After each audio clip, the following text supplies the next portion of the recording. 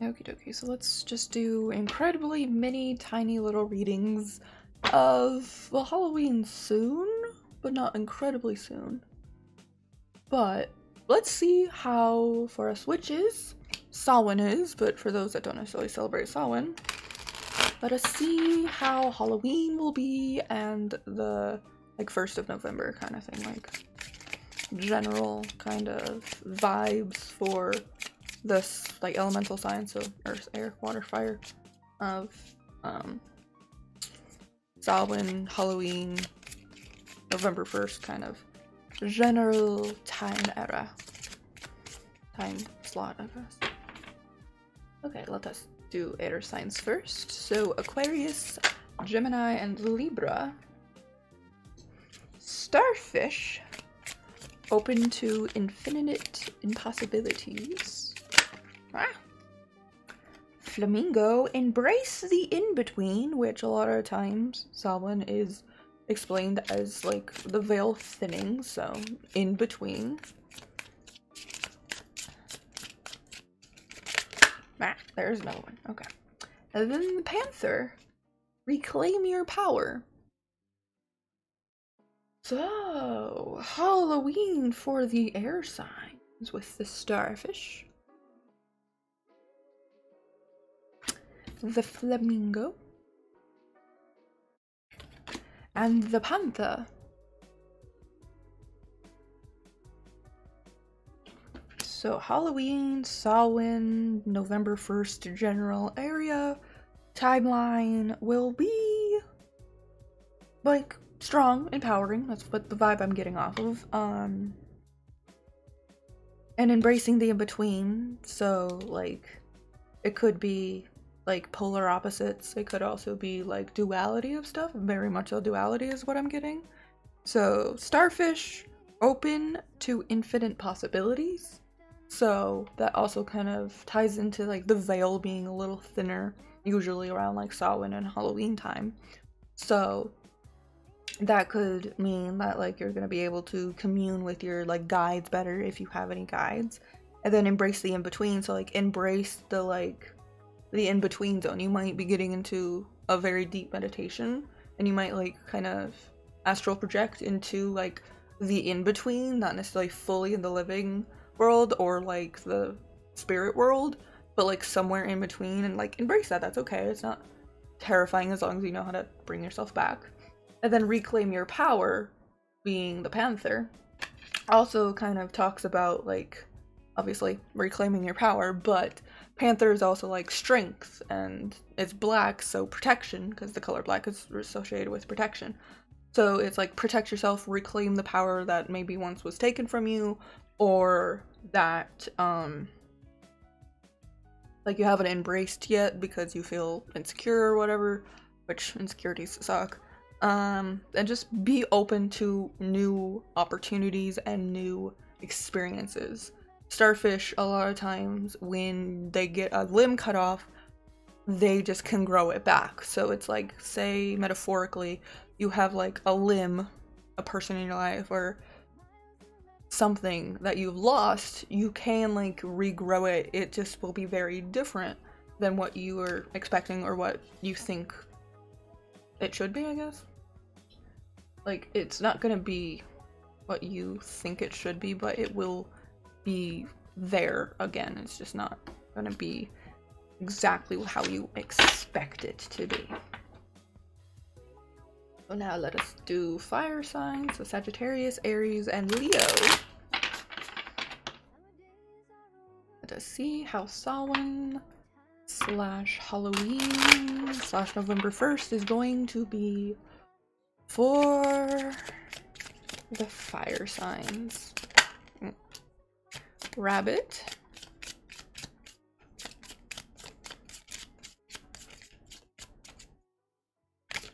Oops. Starfish. Let us see.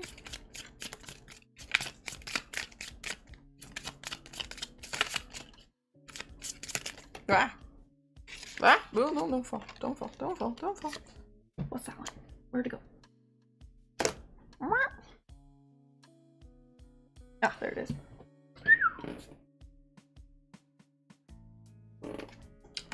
Hummingbird. Oh. Ah. The rabbit says, Now is a lucky time.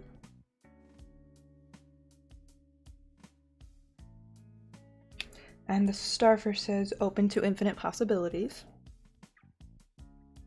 And then the hummingbird says, Be here now. So be in the, like, now. Be in the here and the now. So, for fire signs, Samhain, Halloween, November 1st kind of vibes is going to be a lucky time, so things will go the way that you want them to. If you have something planned for it, or a spell, or anything that should go to your plan, it should go well, it should go exactly the way you want it to go. And then open to infinite possibilities yet again.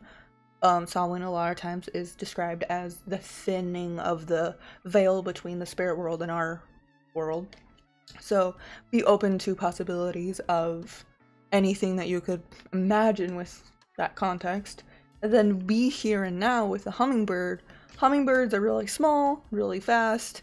So because of that, it kind of symbolizes that like just because something's small and fast doesn't mean that you shouldn't pay attention to it. So you need to like be present in the now, be here, be now, understand life now kind of live in the now instead of in the future or in the past. So don't dwell too much on what's the possibilities of the future. Plan it out, but don't dwell on it too much. And don't dwell too much on the past of like what could have been or something because you are here and now. You can only really affect now and you can affect the future, but the future don't go too far ahead because then that's not always healthy. Of course, plan things and dream, but don't like have extreme expectations of how things are gonna go in like 10 years, because that's far reach. You can have a plan of like, well, in 10 years I want to do this and have a goal, that's perfectly fine. But don't have like a full on, like, this is exactly how things are gonna go, because then that leaves a lot of closed mindedness and you need to be open to the infinity of any kind of possibility. But again, with the rabbit, you're gonna have a lot of like abundance, that's the word I'm looking for. Abundance and luck. Everything with the rabbit card. So again, if you have like a spell working or something like that that you're doing on Samhain or Halloween plans or any kind of thing like that, it should go the way that you want it to. And life in general should go the way that you want it to, but just don't expect too much from life because you have to be in control of your like you're only in control of now you're not necessarily in control of the future except what you do now can affect the future so don't have too many extreme expectations of exactly how things are to go because that will just kind of break your heart.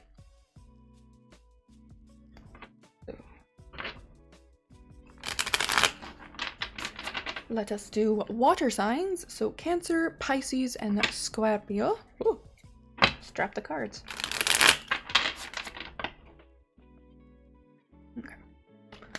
to see how Samhain, Halloween, and November 1st is going to be for the water signs.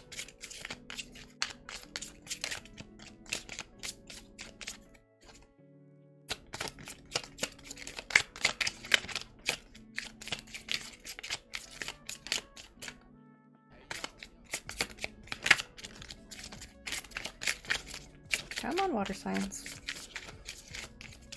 You gotta give me something to work with.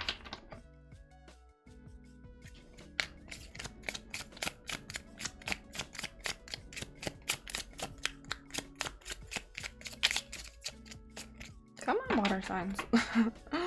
They're being a little stubborn.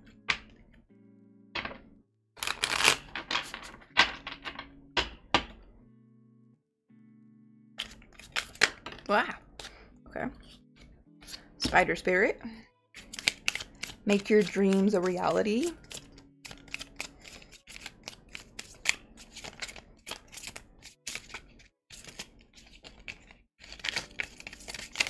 Wow. That card. The Rhino. Overcome any obstacle.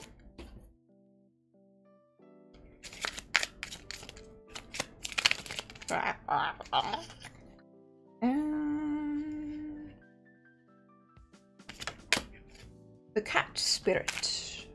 Claim your independence. So, um, spider imagery. It's not like scary, it's just still spider imagery.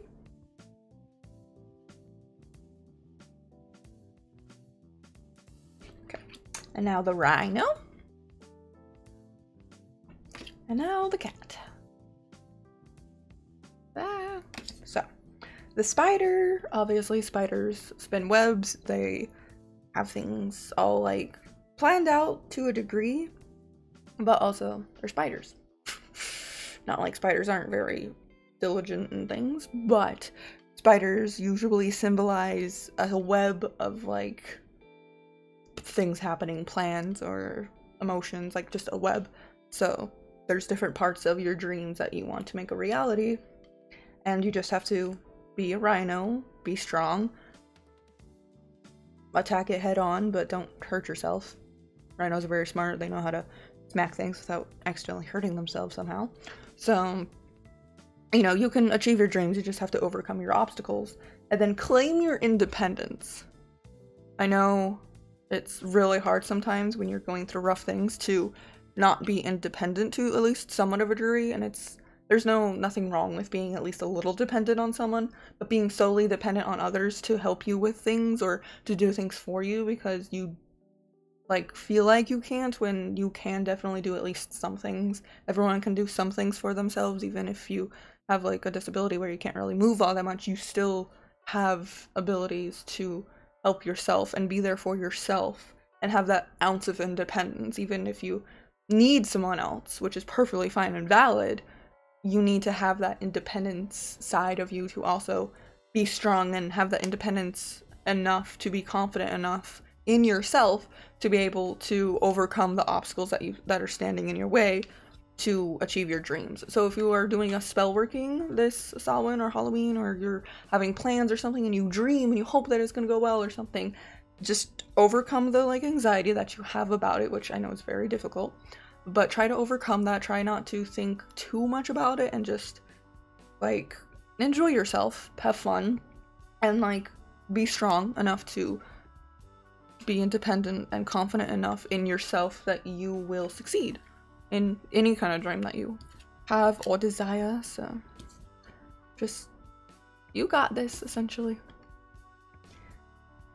Now last but certainly not least the earth signs Capricorn, Virgo, and Taurus. Shuffle the cards.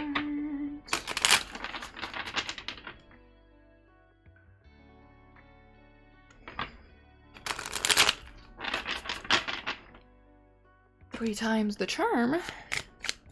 So, how will things be for the earth signs on Samhain, Halloween, November 1st? Mouse, tend to the small things.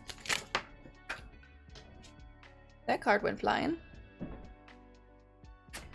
Ah, excusez-moi. And then the stag take the lead. And then the crow. Co-create with spirit. So, mouse. Stag. Und the crow. So.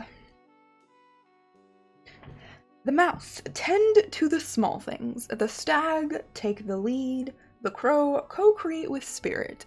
So, this is very like Samhain kind of feeling, especially like co create with spirit. Again, say it a thousand one times. A lot of people consider Samhain the thinning of the veil between the earth world and the like spirit world. So, co-create with spirit kind of doesn't necessarily mean like create something if you don't really want to do a spell or anything like that but like meditate get in tune with spirit. Could be your own spirit could be like any kind of like spirit thing a spiritual thing. Could be like spirit in the sense of like the elemental kind of thing.